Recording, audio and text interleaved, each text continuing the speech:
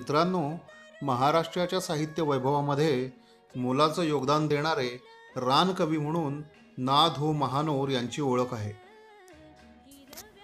पानझड रानातली कविता हे काव्यसंग्रह. गांधारी ही कादंबरी. गावाकडच्या गोष्टी हा कथासंग्रह. जैत्र जैत एक होता विदूषक या चित्रपटांचे गीतकार. असा महानोरांच्या साहित्य संपदेचा काही भाग सांगता येईल. एकोणीसशे एक्क्याण्णव साली पद्मश्री आणि दोन हजार साली पानझडसाठी साहित्य अकादमीच्या पुरस्काराचे ते मानकरी ठरले. शिक्षणासाठी नाही तर जगावं म्हणून आईवडिलांनी त्यांना दुसऱ्या गावी ठेवलं. बिगारी करून शिक्षण चालू होतं. पण पुढे वडिलांना शेतीच्या कामात मदत करण्यासाठी त्यांना परतावं लागलं आणि तिथंच त्यांचं शिक्षण थांबलं. हायस्कूलमध्ये असताना शिक्षकांनी वाचनाची आवड लावली होती. श्रमपरिहार म्हणून कविता करणं आणि करमणुकीचं दुसरं साधन नाही आहे म्हणून वाचन करणं असं त्यांचा नित्यक्रम सुरू झाला. त्यातूनच रानातल्या कवितेचा जन्म झाला. रानात राहणारा हा कवी निसर्गाची भाषा बोलतो. आपल्या काव्यलेखनात सुद्धा त्यांनी प्रत्यक्ष कृतीची जोड दिली होती. त्यासाठी त्यांनी शेतात विविध प्रयोग केले होते. एकोणीसशे अठ्ठ्याहत्तर साली ते विधान परिषदेचे सदस्य झाले आणि सरकारच्या जलसंधारणाच्या कामामध्ये त्यांचं विशेष योगदान राहिलं आहे. यशवंतराव चव्हाण वसंतदादा पाटील आणि शरद पवार यांच्याशी त्यांची विशेष जवळीक होती. देवेंद्र फडणवीस मुख्यमंत्री असताना जलस्वराज्य योजनेचे स्वागत महानुरांनी केले होते. शेती आणि पाण्याचं नियोजन केंद्रभागी ठेवून सरकारनं विकास कामाचं नियोजन केलं पाहिजे अशी त्यांची भूमिका आहे. चार कविता येतील किंवा येणार नाहीत पण शेतात काम करत राहिलं पाहिजे असं त्यांना आजही वाटतं. ते प्रेक्षकांकडून आपल्या कवितेसाठी आणि आपल्या शेतीसाठी आशीर्वाद मागतात. आणि तुम्ही पण शेतीकडे वळा असं आव्हान ते करतात.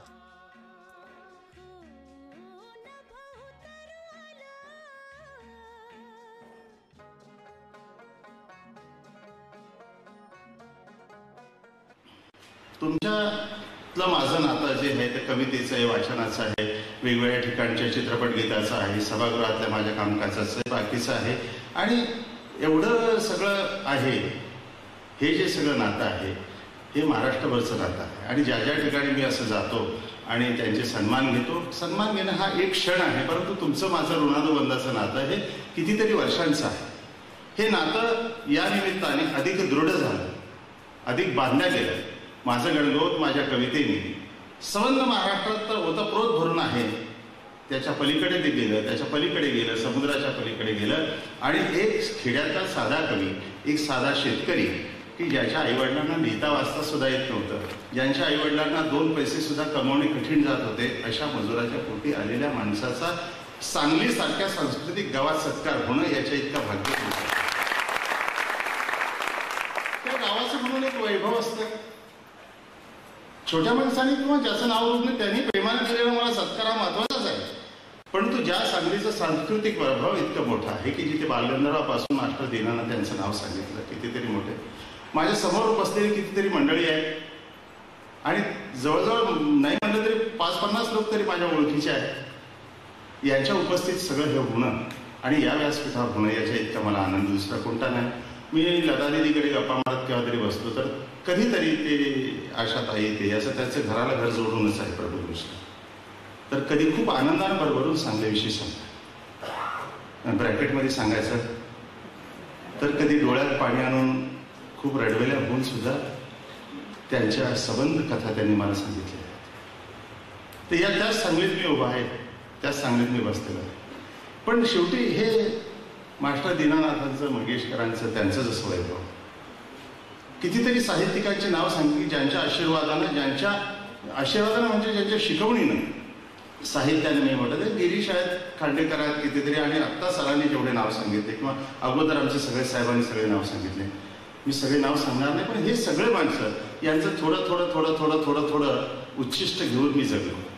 त्यांची पुस्तकं त्यांचे विचार त्यांचं वाचणं सबंध माणूस वाचला सबंध साहित्यिक वाचला आणि त्याचं जगणं त्याचं सगळं विनोदिनी जे असेल दुःखानं कुतडलेलं जे आयुष्य असेल ते सगळं वाचलं. हे सगळं सांगलीच वैभव मी करत असताना सांगलीसारख्या ठिकाणी मी देऊ आहे. मला असं वाटतं की शेतीबाडी संस्कृती आणि साहित्य सामाजिक विचार सामाजिक चळवळ विशेषत सहकाराची चळवळ आणि शेतीविषयक चांगले जी गोष्ट आहे ती महाराष्ट्रातून ज्या ज्या ठिकाणाहून येतो तो कोल्हापूर इचलकरंजी सांगली आणि सातारा या परिसरातून शिकलेला आहे त्यातलं सांगली हे केंद्र जे आहे तिथे माझ्यावर प्रेम करणारी मी जसे सांगितले की अनेक माणसं ज्यांची नावं आहेत पण ज्यांनी आज महाराष्ट्रामध्ये पाणी अडवा जिरवा असं नुसतं म्हटलं ना की प्रत्येक पाणी अडवा जिरवा इथे सुद्धा मोठा कार्यक्रम केला कलेक्टर बाई करतात तुम्ही करतात ते सगळा समाज त्याच्या भोवती आहे की ज्यांनी महाराष्ट्राला पुन्हा एक वेळा उत्तेजित केलं. माहिती नाही. एकोणावीस जुलै त्र्याऐंशीला हा ठराव आणि चर्चा मी विधान परिषदेत मांडली होती. आणि इरिगेशन मिनिस्टर ईजीएसच्या मंत्र्यांनी उत्तर द्यावं असं नाही ठरलं. तर तिथे माईक लावलेला होता चीफ मिनिस्टरच्या याच्यामध्ये. तर त्यांनी निरोप पाठवला की उत्तर द्यायच्या दहा मिनिटं अगोदर मला बोल असा तर त्यावेळेला ज्या मंत्र्यांनी उत्तर द्यायचं त्यांना थांबवलं. आणि लोकांच्या विद्यापीठातला मुख्यमंत्री माणूस. वसंतराव दादा स्वतः तिथे आले. आणि तोडीस तोड असं जे सगळं चाललेलं होतं त्याच्यातून पाणी अडवा जिरवा हा ठराव मंजूर झाला. तो ऐतिहासिक क्षण दिसतो. पुढे मी काम केलं ते म्हणजे तुझं गाव करून दाखवते काय लोक काही खरं नाही आमच्या अधिकारी. खरं नाही मग पळसखेड गेलं वॉटर घेतलं. अत्यंत बरड माळाचं पुजारी असं सगळ्यांना माहिती आहे की त्यांनी पाहिलेलं माझं गाव. जेव्हा दुसऱ्या जल आयोगाचं हे सगळं झालं त्यावेळेला. तर हे सगळं अशा ठिकाणी पाणी निर्माण करणं दोनशे एकरवरून अठराशे दोन हजार एकर करणं आणि हॉर्टिकल्चर वगैरेचा निर्णय नव्वदला गेला हे सगळं ज्यांनी केलं आणि ज्यांनी पहिल्यांदा माझ्या पाठीवर थाप मारली की नाही नाही शेतीविषयक करायचं ना हा ठराव मांडला आणि मी उत्तर दिलं पाहिजे राज्याचा मुख्यमंत्री म्हणून. ते म्हणजे फोर सिक्स्टी फोर्टी बंद करा मातीचे धरणं बंद करा पाणी अडवा जेव्हा सिमेंट नाला बांध अमुक टमुक लहान बाजार तलावपासून तर मोठ्या धरणाच्या बाजूनं जे काही असेल नसेल तर ते मी चारशे सातशे वर्षांचं तिचं सांगितलं. त्यांनी मान्य केलं. आणि म्हणून तेवढंच नाही तर माझ्या सुखदुःखात माझे वडील गेले तेव्हा यशवंतराव चव्हाण दादा दिवस दिवस तिथे थांबले. ह्या गोष्टीला मी विसरू शकत नाही. आज औचित्य नसलं तरी मला त्या गोष्टीची आठवण होते की नुसते दादा नाही कितीतरी समाज की जो ओळखी अनोळखी नाही माझ्या भोवती पाखरांसारखा जमा झाला माझ्या कवितेच्या भोवती जमा झाला. आणि मला शिकवलं शेतीविषयक मूलमंत्र घेताना मी अनेक लोकांना पोटात घातलं. डोक्यात घातलं. आणि घेतलं त्याच्यातलं एक नाव आहे की चौऱ्याऐंशीला मला जेव्हा कृषीभूषण मिळालं ज्या पाच सात लोकांना त्याच्यामध्ये मला भाषण करण्याची संधी मला सांगितली की सगळ्यांच्या वतीने बोला मी बोललो तर मला दोन तीन गोष्टी सांगितल्या. आज ठिबक आणि ठिबकवरचं जे अनुदान आहे केंद्र सरकारमधून जे सगळं सुरू झालेलं आहे त्याचा स्रोत जो आहे तो मला भाषणात निर्माण केला आणि मी बोललो म्हणजे प्रत्येक जण मुख्यमंत्री राज्यपाल मान्य करायचे तर तो वसंतराव आर्वे या माणसाने दिलेला होता. नवीन टेक्नॉलॉजी नवीन जगभरचं राहणार. जगामध्ये कुठे जायचं आहे हे? परंपरेचं चांगलं आहे हे जतन करा. परंतु जग हे जेटच्या विमानाने झालेलं आहे त्याच्यात ते आधुनिकता आणि त्यातलं आता नवे पण जर तुम्ही घेतलं नाही तर जगता येणार नाही. हे वसंतराव आर्वेनी तिकडून परत नागपूरहून येताना नागपूरला समारंभ झाला तर पळसखेडला आले माझ्या झोपडीमध्ये राहिले पाहिले सगळे. खूप मोठमोठे लोक साहित्यिक आले पण वसंतराव आर्वे आले. माझ्या शेतकऱ्याच्या काळजाचा माणूस आला या गोष्टीचा मला किती आनंद आहे. आज वसंतराव नाही आहेत. पण मला त्या गोष्टीचा आनंद आहे की त्याची आठवण येते. अशा कितीतरी गोष्टी आहेत. आणि असं जायचं असं करायचं असा काकात घ्यायचा असं जायचं. म्हणजे काही त्यात अर्थ नाही हो म्हणजे पद्मश्री ही सगळ्यात मोठी पद्मश्री पद्मभूषण. तर दिले तुम्हाला ते ते त्याचे मिसेस त्याला आप जरा ये जे जुल्फे जरा ऐसा करके ऐसा आता तिथे काही सिनेमा नाही ना तर दिलीप कुमार असं असं करत होता. तर ते मुद्दा असा आहे की तिथे कडेकोट बंदोबस्तात जायचं व्यवस्था आहे कृषीभूषणच्या वेळेला त्याचं ते कृषी रत्नाच्या वेळेला ते फजल साहेब बसलेले राज्यपाल ते. अहो ते फार मोठं असतं. पण त्याच्यामध्ये काळीज आणि आत्मा नसतो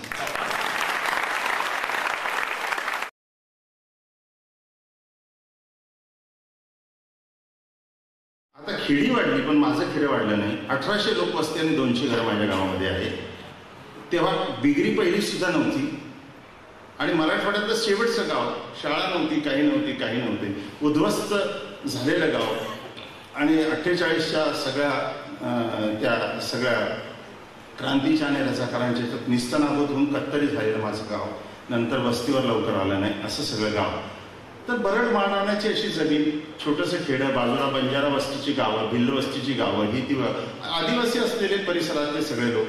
छोटी मोठी गावं शेंदुर्णी पहुरा अमुक बाजूला आहेत. तिथे या गावाला त्या गावाला. असं तर शिक्षणाचा वसाच नव्हता. माझ्या गावात दोनच लोक शिकलेले होते. आणि ती व्हरायटी फायनल असं काहीतरी त्या वेळेला होतं. तर एक शिक्षक झालेला होता. आणि कुठले तरी आणखी कुठले तरी एक खाजगी नोकरी करून तो होता. म्हणजे दोनच माणसं सगळे पत्र तेच वाचायचे. गावातले पत्र आले बाई म्हणायची की जरा वाचून दाखवणार तर आम्ही ते वाचणाऱ्याला फार ग्रेट समजायचो की त्याला वाचता येतं. तर अशा ठिकाणावर आलो. माझं डिग्री आणि पहिली गाव उद्ध्वस्त होतं अठ्ठेचाळीसला गावात कोणी नव्हतं. दोन माणसं कापल्या गेली होती. आणि संबंध गाव लुटलं गेलं होतं. निजामी राजवटीतलं असं. तर त्यावेळेला मग गावात राहणं कसं काय शक्य आहे? आणि मी एकुलता मुलगा लहान असा तसा एक पाच सहा वर्षाचा.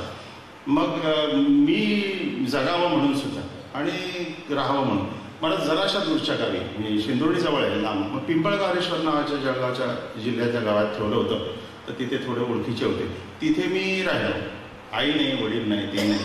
आणि काही मागे वास्तपूस नाही. असं ते सगळं गाव. तर तिथे बिगरीत पाचव्या सहाव्या वर्षी होतो. मी बिगरीत जायचो. पहिलीत सुद्धा तिथेच व- वडील आई कधीतरी दोन तीन महिन्यातून यायचे. आई वडील सुद्धा गावामध्ये शेताला जवळ पडले असं बंजारी तांडावर राहत होते. मग ते यायचे. की मी जगाव एवढंच होतो. शाळेत जाऊ न जाऊ. पण मी तिथे बिगरी आणि पहिली गेली. आणि त्या ठिकाणी मग ते गावापासून नदी नदीपासून लांब तर त्या आठवणींचा झोका असे जे सात दहा लेख माझे आहेत एक महाराष्ट्र चार महाराष्ट्रांमध्ये आहेत. तर त्याच्यामध्ये याचं वर्णन आहे. तर ते काहीही यापेक्षा नाही हो. आता तीन वर्षाचे असताना कोणत्या स्कूलमध्ये घाला सहा वर्षाचं असताना काय करावं सात वर्षाचं? काही न करता कमी झाला बघा. कसं काय काही न करता. आणि असं आता पहिली डिग्री पहिली केली दुसरी तिसरीत पुन्हा एकदा दुसऱ्या गावी आलो. पाचवी सहावी मध्ये मग पुन्हा शेंदुर्णीला गेलो. शेंदुर्णी बऱ्यापैकी गावात म्हणजे वीस हजार वस्तीचं आणि मोठं खानदेशात मग तिथे पाचवी ते अकरावी केली. माझ्यावरचा सगळ्यात चांगला चांगला संस्कार म्हणजे चांगली शिक्षण संस्था हे जशी होती. उत्तम शिक्षक मॅट्रिक म्हणजे बी एड डी एड तरी कमी होते. मॅट्रिक डीटीस मॅट्रिक अमुक. हिंदीचे काहीतरी रत्नबिंद झालेले अमुक झालेले. असं असेल. पण खऱ्या अर्थाने सानेगुरुजीचा जो गुरुजी होता तो त्यांच्याजवळ आणि त्याच्यामुळे त्यांनी मला वाढवलं मोठं केलं. नंतर कॉलेजला गेलो. हे तेवढं सांगून टाकतो. एक वर्ष गेलो. पण तीस रुपये वीस रुपये पंधरा रुपये जळगावला पाठवायला आई वडिलांजवळ नव्हते. तर त्यांना किती मोडून टाकावं हे मी ठरवायचं एक वेळा. आणि धाकटे भाऊ त्यांचं शिक्षण करायचं त्याचं पुन्हा शेतीवाडी मजुरीतून थोडी शेती बाबांनी विकत घेतली काही भाड्याने केली होती. ते करायचं ठरवलं. ते जे कष्ट करत होते त्याच्यात त्यांच्या हातात माझा हात दिला. आणि अठराव्या वर्षापासून शाळा कॉलेज सोडून पुन्हा एक वेळेला ह्या सगळ्या खेड्यामध्ये मी राहिलो. आणि गंमत अशी की हायस्कूलची लायब्ररी चांगली होती गावाची सार्वजनिक लायब्ररी चांगली होती त्याचा मला पाठ झाला. आणि मग ते घेऊन मी यायचो. तर सर सर सरांनी मला मराठी सातवीत उल्का वाचायला दिली. मॅट्रिक डीटीसी होते पण प्रचंड वाचन होतं. म्हणजे नेमाणीच्या गावचे. नेमाणीचे मामान त्यांचे मित्र होते. तर ते त्याने दिलं तर उल्का वाचली ह्याची वाचली. नंतर म्हणजे कसं काय वाटलं म्हणजे चांगलं वाटलं. म्हणजे आणखी दोन पुस्तकं दिलं. तर सर काय होते? सर म्हणे कशावरून तू वाचलं? म्हणजे सर वाचलं. तर त्यांनी मग नंतर शिस्त घातली. मला की तू लिहिशील? ती वाचलं ना मला एकाच पेज एक वही कर. मी तुला वही देतो. एका पेजमध्ये लिहून काढ की त्या कादंबरीत का त्या नाटकात का तो कविता संग्रह कसा वाटला? तर ते अवघड होतं. पण मराठी सातवी आठवी नववी दहावीपर्यंत असं केलं. आणि गंमत अशी की नंतर पुस्तकांचा जो लळा लागला ना हे तो आता जर म्हणजे बायको नाही पण बायकोंनी सुद्धा इतका लळा लावला नाही. छान छानपैकी जगणं होतं. त्याच्याशिवाय करमत नव्हतं आणि क्षण तर रात्री दिवसभर शेतात काम करायचं नंतर शाळा सोडली कॉलेज सोडलं आणि शेतामध्ये दिवसभर काम करायचं. तीन किलोमीटर पायी जाणं तीन किलोमीटर पायी येणं. किंवा बैलगाडीमध्ये दणके खात जाणं दणके खात येणं याच्यापेक्षा कसं होतं की मी मुक्काम करायचो. आठवणीच्या झोकामध्येच एक बंजारा आहे झमुना आहे आणि तो. तर तो मी तिथं आणायचो. तो कंदील लावून द्यायचा. आम्ही बांधायचो. कंदील संपला की एरंडीच्या कांड्या आणून तो असे जोडायचे. आणि ते जोडून मग काय करायचं त्याचं तेल जे आहे ते धुरकट असायचं डोळे खराब व्हायचे. आणि माझे डोळे लवकर खराब झाले त्याचं कारण तेच तर तो तो जामुनही झोपायचा. मग तिचीच माझी नाही यायची. रात्री जेवायचं नऊ दहा वाजता थकलेलं एवढं असेल की आराम करायचा वाटत. आणि मग आराम करताना नऊ दहा अकरा बारा एक दोन. मग जे पुस्तक यायचं ना ते इतकं भारी पुस्तक असायचं. इतकं मराठी साहित्यामध्ये कथा कादंबरी अमुक रवा दिघे अरे बापरे हा तर माझाच माणूस आहे. पाणकळा काय लिहिलेली आहे? व्यंकट मांड मांडेशी माणसं. पण माझ्या गावातही असं आहे ना. मी का नाही लिहिलं? असं वाटत वाटत वाटत पुस्तकांचं ते आपलेपण जे आहे ते जुळत गेलं. कविता जे आहे तर लोकगीतं म्हणत होते लोक म्हणत होते. आणि माझ्या कविता तर खूप वाचलेल्या होत्या मी. तर श्रमपरिहार म्हणून दिवसा कविता म्हणायच्या. ज्या पुस्तकात वाचलेल्या पाठवून जायच्या ताबडतोब आणि नंतर मग कथा कादंबरी वाचायची. हे माझे श्रम हलके करण्यासाठी जे दुसरं करमणुकीचं काहीच साधन नव्हतं म्हणून करण्यासाठी. म्हणून पुस्तकं ही जास्तीत जास्त नंतर मात्र हायस्कूलमध्ये जर पाया बांधला नसता सरांनी जर पुस्तकाचं वेळ लावलं नसतं तर हे झालं नसतं. आणि त्यांनी सांगितले की आधी दिली होती ही पुस्तकं वाच. ही कविता वाच हे वाच. असं सांगितलं. नंतर तर मी कितीतरी वाचत बसलो. आणि माणसाचा मुर्दा पडला मी आठवीत वाचलं. और हे सर म्हणलं मी म्हणलं मग ते सर म्हणले काय? म्हणलं मी वाचलं पण मला समजलंच नाही.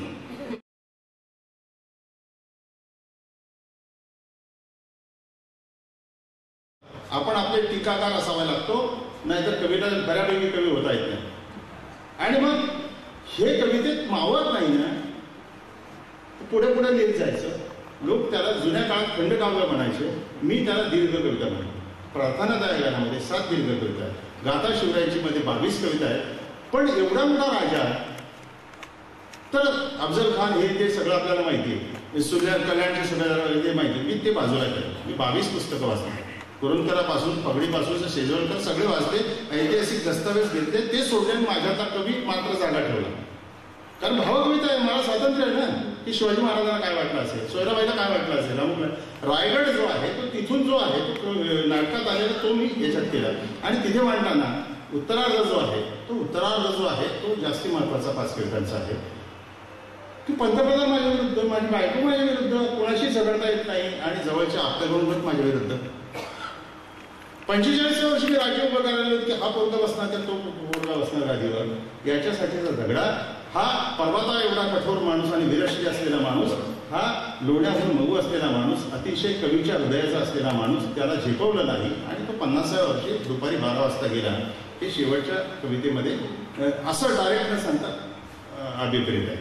पण शेतकऱ्यांचा होता स्त्रियांचा होता गरिबांचा होता सर्व जाती धर्माचा होता हे कोट करताना मांडताना ऐतिहासिक दाखले आणि दस्तावेज जे घेतले ते ऐतिहासिक पुरुषांचे जवळजवळ दहा लोकांचे घेतलेले त्यांचेच तुकडे टाकलेले आहेत. आणि मग हे सगळं टाकत असताना शेती उभी करताना पाटस्थळ आणि मोठं स्थळ केलं पाहिजे. पाटस्थळ पाणी जे गाव करेल त्याला सत्कार केला पाहिजे. कोरडवाहू शेती जगूच शकत नाही शेतकरी शिवाजी महाराजांनी सोळाशे छप्पनला सुपे परगण्यात सांगितले. आणि दोन मोठा जो चालवेल त्या शेतकऱ्याचा सत्कार केला पाहिजे. म्हणून दोन शेतकऱ्याचा सत्कार म्हणजे दोन मोठा चालवेल म्हणजे राष्ट्रीय उत्पादन वाढवतो दुबार पिकं करतो कोरडवाहूमध्ये मरत नाही राज्य सरकार अडचणीत आणत नाही आपला. आणि म्हणून दोन मोठं चालवणाऱ्याला मोठं स्थळ आणि जास्ती गावाचं जर वॉटरशेड करेल त्याला पाटस्थळ अशा पद्धतीनं त्यांचा महसूल कमी करून त्यांना सत्कार आहे. माझं म्हणणं आहे की हे कोणीच मांडत नाही. मी पाणलोटमध्ये मांडताना हे रस्त्यावरच घेऊन मांडले. महात्मा फुलेंच्या अगोदर शिवाजी महाराज त्याच्या अगोदर अहिल्याबाई आणि होळकर की तिने जे बारवा आणि घाट केले ते याच्या संदर्भात याच्याच होता प्रतापगडावर जे राणांनी केलेलं ते काम शिकवकर त्याच्यानंतर चाळीस चौदाशे साडेचारशे शहाऐंशी अकबरांनी केलेलं काम कितीतरी काम. म्हणजे आणि आमच्या साखरीजवळ डायरेक्ट फंड सिस्टीम जी अमेरिकेत नाही इंग्लंड ते म्हणले की हे इंजिनिअरिंग कुठून आणलं? तर डायरेक्ट शेतामध्ये जाणारं पाणी. हे दुष्काळी पट्ट्यामध्ये कळवण सटाणा आणि धुळ्यामध्ये साखरीमध्ये केलं हे इंजिनिअरिंग आणि बुद्धिमत्ता कुठली? आमच्याच माणसाची होती. आणि म्हणून असे प्रयोग झालेले आहेत. आता असे करणारे शिवाजीराजे एक होते. म्हणजे शिवाजीराजेंच्या उरलेल्या गोष्टी खूप सांगितल्या होत्या. या सांगितल्या नव्हत्या. शिवाजीराजेच्या शेवटच्या हद्दीपर्यंत जे काही होतं तो इतिहास तुम्हाला माहिती आहे ना? मला जो भावला तो मी लिहिला लोक म्हणतात की नाही नाही तुम्ही असं घरकुलाचं दारकुलाचं घरचं दारचं लिहायला नको. मी माझं स्वातंत्र्य आहे. मी लिहिणार मी कवी आहे ना मला तेवढं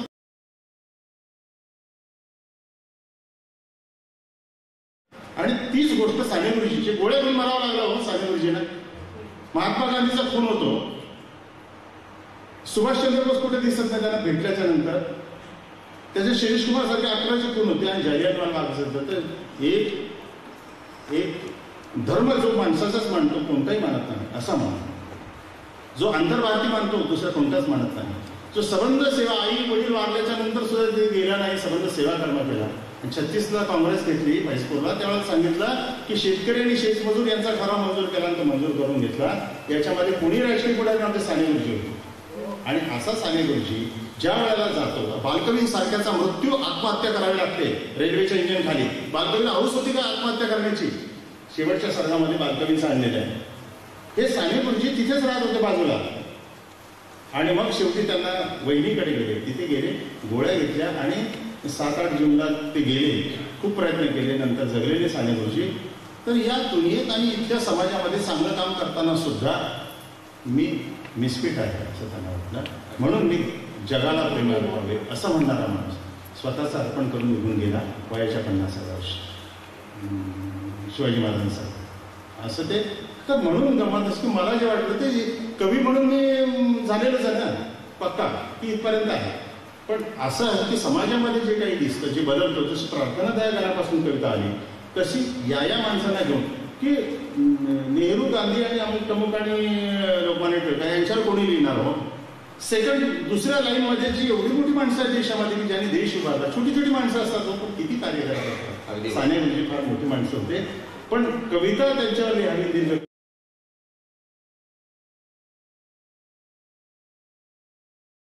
मला साहित्य अकादमीचा पुरस्कार मिळाला सत्कार झाला. तर पत्रिका वगैरे छापल्या नव्हत्या त्याच्यात यशवंतराव चव्हाण प्रतिष्ठानचा मी फाउंडर मेंबर आहे. वसंतदादा होते एस एम होते वगैरे सगळे त्याच्यामध्ये होते. तर तिथे सत्कार झाला. दिल्लीला झाला मग तिथे झाला.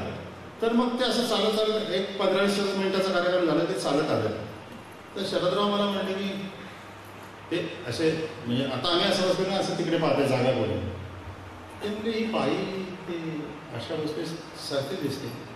म्हणलं अशा बसतेच आहे तर बाई बसल्या नंतर बसला तर टाळ्या वाजल्या मग मग पवारसाहेब म्हणले की वर येतं का? ते म्हणले बरं ठीक आहे मी येतो. मग बोलणार का म्हणून तुम्ही सांगा तर बोल. असं. तर मग तिथे बाई आल्या बोलल्या. तर ते म्हणले मग तुम्ही पत्रिका छापली. पंधरा मिनिटं मी लेट आल्याचं कारण मला की हे यशवंतराव प्रतिष्ठान कुठे माहिती नाही. मी अजून आले नाही. पण मला पत्रिका पाठवली नाही तरी माझा कवी म्हणून मी आले. तर स्वतःहून आले.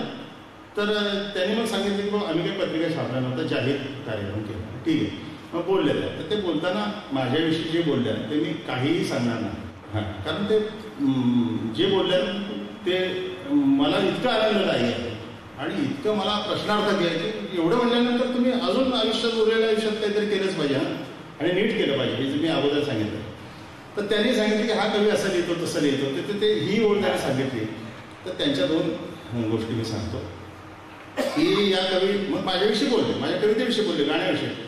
तर मी एकदा जांभूळ विकल्याचं वगैरे साधा.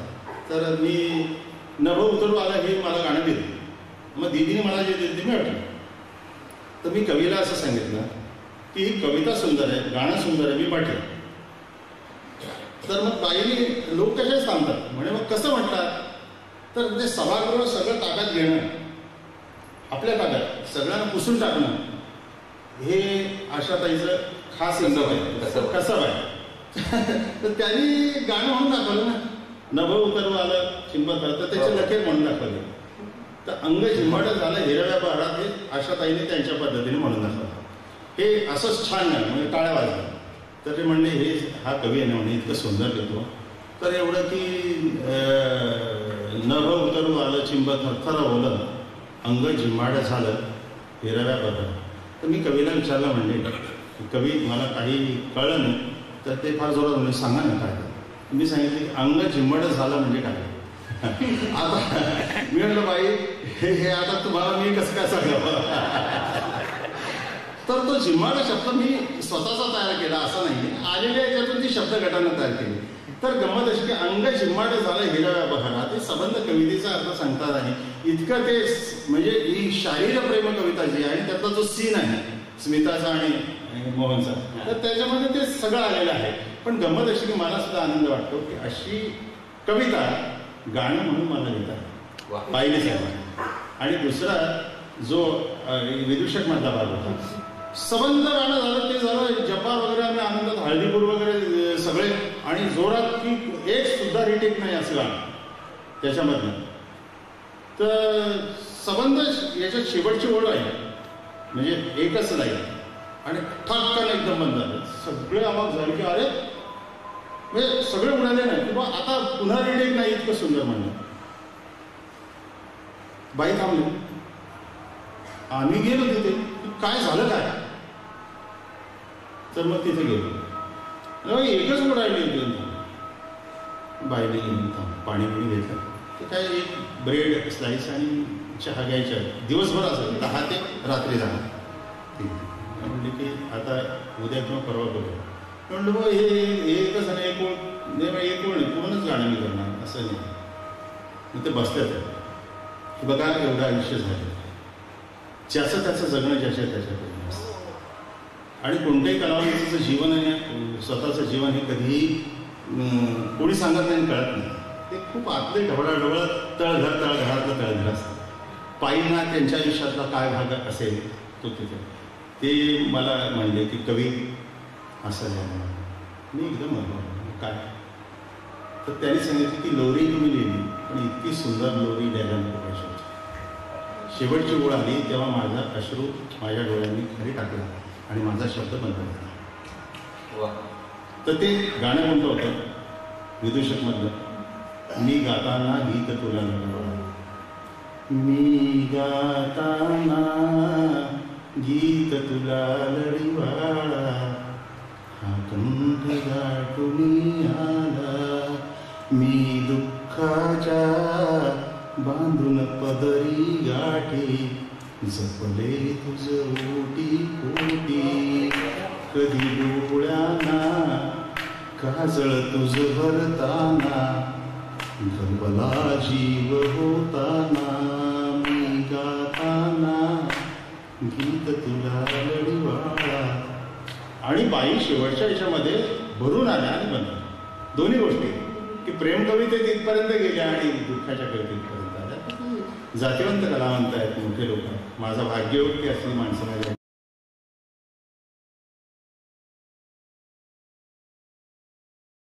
असं करतो. आता खूप कविता मध्ये मध्ये आल्याच ना सगळ्या सांगितल्या.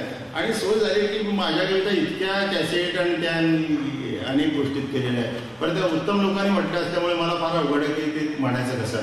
मी फक्त आता असं करतो की सगळ्या कविता तर हे नाही. फक्त एक ए- एक दोन मिनिटामध्ये एक गोष्ट सांगतो. ती गोष्ट आमचे म्हणजे तिचे साहित्यातले समजणारे लोक आहेत. प्रदीप पाटील किंवा बाकीचे लोक आमचे कवी आहेत बाकीचे बसलेले आहेत ते सर तर पांजरमध्ये एक शेवटी कविता एक सात भागामध्ये कविता चार ओळी सहा ओळी दहा ओळी असं. तसं शेवटी शेवटी कविता ती कविता ही स्वतंत्र आहे. एक कविता. आणि सात कविताची एकच कविता आहे.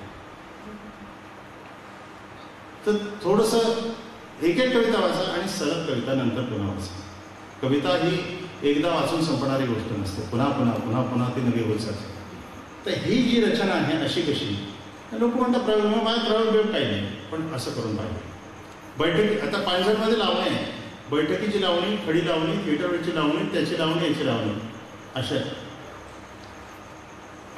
कुणाची ग माडी माडी नाग मोडी? कुणाची ग माडी माडी नाग मोडी? माडी नाग मोडी काळे केस गहिना? राजवंशी पाना इडा देते ही जशी लावणी आहे तशी भरलं आभाळ पावसाळी पाहुणा नाग श्रावणाचं ऊन मला झेपेना पिवळ्या पंखाचा पक्षी नाव सांगी ना बाई. श्रावणाचं ऊन मला झेपेना. इथे बघा दोन ओळीमध्ये ध्रुपद किंवा अंतरा होईल ना मी तीन ओळी केलाय. पूर्वीमध्ये एकच ओळीत आहे. हे प्रयोगशीलता नाही पण असं करून पाहण्याची माझी तयारी असते आणि ती जमली पाहिजे. असं जर कुठे आहे एक दोनच ओळी संपायला पाहिजे तिसरी ओळ. आहे. एक कविता तर हे हे थोडंसं सांगतो म्हणजे कविता वाचण्यापेक्षा ही गंमत सांगतो. गडद जांभळ भरल आभाळ दोनच ओळी संपायला पाहिजे म्हणजे गडद आभाळ दुगातल्या सावल्यांना बिलोरी झोळ. झाले ना दोन ओळी इथे थांबायला पाहिजे. तिसरी ओळ अशीच ते पिवळा पक्ष पंखाचा पक्षी लावलाय तर गड जांभळ भरल आभाळ मृगातल्या सावलांना बिलोरी गोळ फुलवरी चिंबबाई मातीला तर अशा पद्धतीनं छंदोबद्ध गाण्यामध्ये सुद्धा लय तत्व काही घेता येईल का संगीतवाल्याला काही नवीन देता येईल का असं जे सगळं आहे तर ते लावणीच्या दहा बारा कवितांमध्ये तसंच पालखीचे अभंग आहे. शेवटी अकरा अभंग आहे पंढरपूरला आषाढीला लोक जातात. कोणी गाड्या घोड्या ट्रॅक्टर बैलगाड्या निवडणुकांसारखे पाठवत नाही. प्रचार सभेसारखे पाठवत नाही. आपोआप जातात बिचारे. आता सुद्धा दिंड्या चाललेल्याच आहेत. तर म्हणून विठोबाला काय मागतात वर्षानुवर्षे? पाच दहा लाख लोक. काय नाही विठोबा. दुडामुडा संस्थान काही नाही माझ्या चटणीवर भाजीवर थोडंसं तेल आणि तिचं काय मागणं असतं दुसरं? माझी शेतीबाडी ऊस पडली कर्जाऊ माझी इकडंच जायची पाळी तर अकरा कविता. अकरा कवितामध्ये मी राज्यकर्त्यांना सांगणार. की मी लोकांना सांगितलं तुम्हीच ऐकत नाही हो आमचं. मग मी काय केलं? वशिला लावलं. एका कवितेमध्ये कोण आहे माहिती? आहे एकामध्ये तापी आहे. तिच्याजवळ बसलेली मुक्ताबाई. मुक्ताबाई तापीचं पाणी जर असं असं असं करून असं असं शेतामध्ये जातं गोदावरीचं पाणी तिथे ज्ञानोबाला सांगितलं की तू इथे आपेगावला राहत होता. एकनाथाला सांगितलं तू राहत होता इथे वळता घालून असं असं ते. अरे जाई पाणी बंद झालं रे. पुन्हा एक जाऊ दे. कृष्णा कावेरी आणि इकडचं जे आहे तर ते पाणी आमच्या पंचगंगेचं आहे. तर जादा पाणी म्हणजे ठीक आहे बोगद्यातून जाऊ द्या. पुन्हा एक वेळा बिलूमध्ये पण माझ्याच माणसासाठी आहे ना. तर हे सगळं जाऊ दे. तर नामदेव एकनाथ तुकाराम जनाबाई अमृत सगळं सावतामुळे सगळं गोतावळा जाणार सगळं गणगोत जमाते आणि प्रत्येकाची कविता आहे त्याच्यामध्ये. आणि ते विठोबाला प्रार्थना आता एकाने देव हलवला नामदेवानी तर दहा बारा जणांनी हलेल केली चोखा वेळाने सांगितलं की पाठी मारून कर. चोखा वेळाने नामदेवाने सांगितलं की ते बिलकुल घास खाणार नाही. असं. तर गंमत अशी आहे की दुष्काळी पट्ट्यातले सगळे प्रश्न सगळे मांडणं आणि सगळी प्रार्थना त्याच्यामध्ये. एक विठोबा आषाढीला त्याच्या घरी जातात. हे पालखीचे अभंग अकरा आणि अकरा अभंग करताना हे म्हटले तर सलग आहे. म्हटले तरी.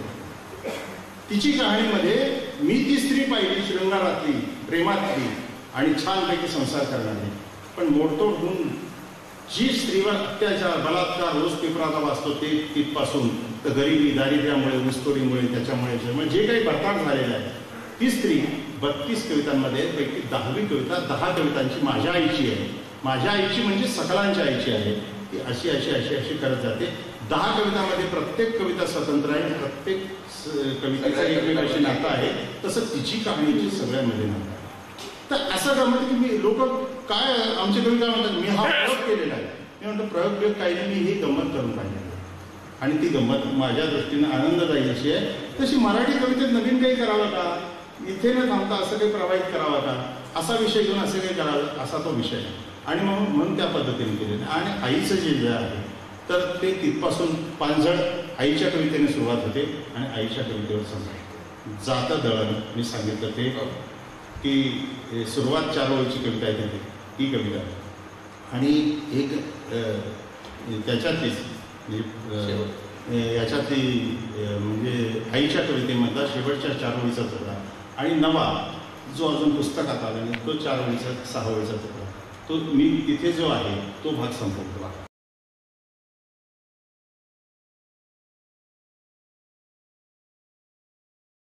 ज्याच्यातलं चूक काय ते बरोबर काय ते तुमच्या परीने घ्या सोडून द्या. मला जे वाटलं ते सांगतं काही मतं तुमची माझी मिळती जुळती असतील काही नसतेच सुद्धा. पण मला वाटलं ते मी प्रामाणिकपणे सांगितलं एवढीच गोष्ट आहे. तर एवढेच भाग आहे की मला तुम्ही प्रेम दिलं ना त्याच्यात पूर्ण बांधून ठेवा. दुसरी गोष्ट दुसरी गोष्ट की मी काही फार अंधश्रद्धा नाही. पण तुमचे आशीर्वाद जे आहे माझ्या गमतीसाठी आणि माझ्या शेतीसाठी पाहिजे एवढंच मी तुम्हाला शेवट सांगणार आई म्हटलेलं आहे की आज माझे दिवस चांगले आहेत. फार चांगले नाही. पण चांगलं आहे. तुझी शेती कोणी करू नका असं सांगत असताना मी सांगतो की शेतीच करा आणि शेतीमध्ये उभं राहू शकतो. शेतीवरची निष्ठा पाहिजे ओंजळवर फक्त पाणी पाहिजे. आणि जी डोळ्यातून येणारी दृष्टी आहे ना आईवर बायकोवर प्रेम करण्याची ती शेतीवर असली काही दिवस वाईट येतील. पण नंतर मात्र सुखाचा दिवस येईल तो शेवटपर्यंत सुखाचाच दिवस राहील. असं मानणारा मी एक जागरूक शेतकरी वेडाने. वेडा आणि त्याचीच कविता घेऊन मी माझ्या कवितेमध्ये मांडली माझ्या वेगवेगळ्या कवितांमध्ये हेच रूप मांडलेले आहे एक चार ओळीची कविता पांझरमध्ये आईची होती. चारच ओळीची आहे. तेच ते दळण तेच ते जाणं आणि तेच ते जगणं. आणि मग शेवटी ही जी कविता आहे ती आईच्या कवितेतल्या चार ओळी आणि नव्या चार ओळी असं करून जे आहे तर तिथे आपण संपूया. कविता अशी आहे बघा. चार ओळीचीच कविता आहे. पीठ गळे जात्यातून तस पाणी डोळ्यातून. पीठ गळे जात्यातून तसे पाणी डोळ्यातून. आई कर पले हात तुझे भाकरी भाजून. पीठ गळे जात्यातून तस पाणी डोळ्यातून. आई कर पले हात तुझे भाकरी भाजून. शिळ्या भाकरीन उभा शिळ्या करीन उभा माझ्या संसाराचा जीव. शिळ्या भाकरीन उभा माझ्या संसाराचा जीव. तुझ्या ओवीच्या शब्दानं मला केलं चिरंजीव. मग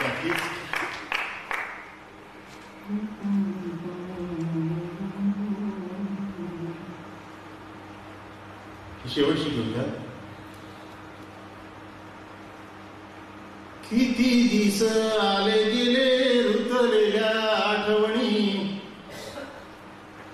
तिची कहाणी म्हणजे आईच्या दहा कवितेतल्या शेवटच्या भागातल्या कविता एक तुकडा आणि शेवटी नवा तुकडा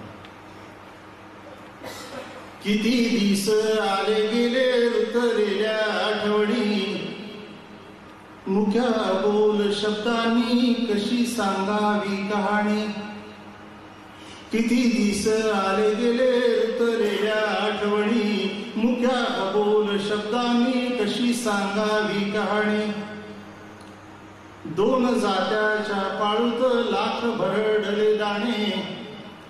दोन जात्याच्या पाळूत लाख भरडले दाणे.